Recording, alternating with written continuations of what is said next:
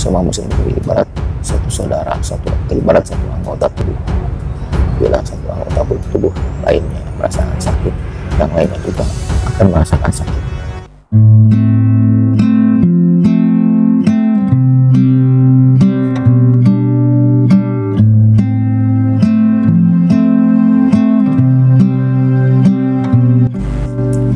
Oke, Assalamualaikum warahmatullahi wabarakatuh.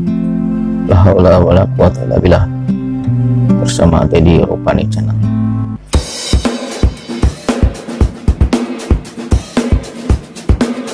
Di kesempatan kali ini kita akan membahas tentang suka mengaji tapi punya hati benengki.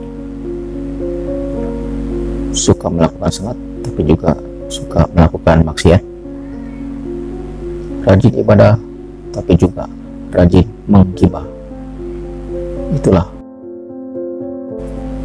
Dan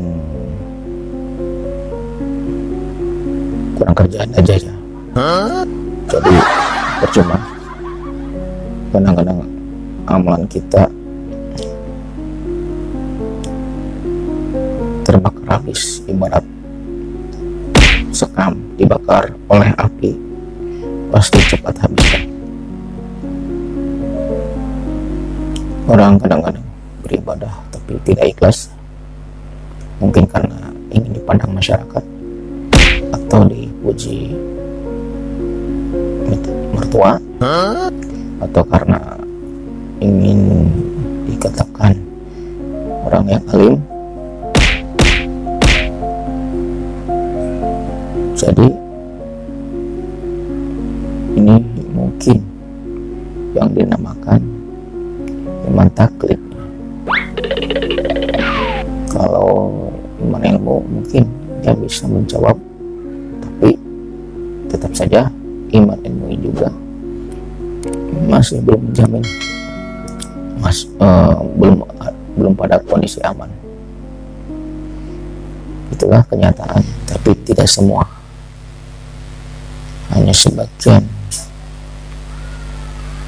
yang benar dalam melakukan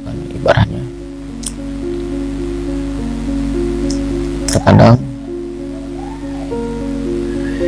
bila mana melakukan ibadah ada sifat ria dan takabur supaya dipandang sebagai tokoh.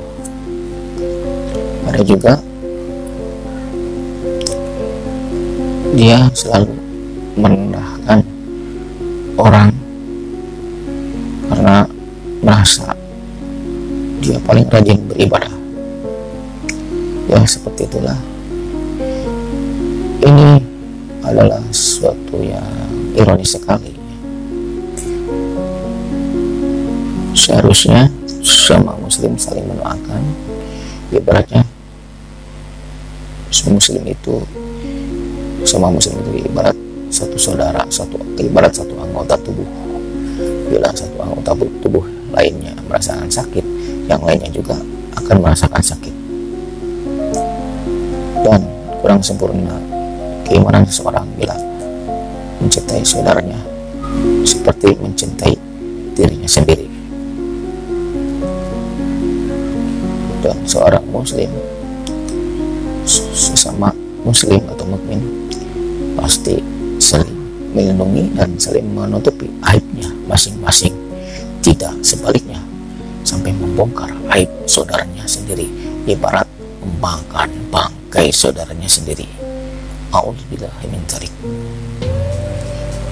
mudah-mudahan kita tidak seperti itu ya. Ya begitulah. Mungkin kajian ini bukan berarti kita memojokkan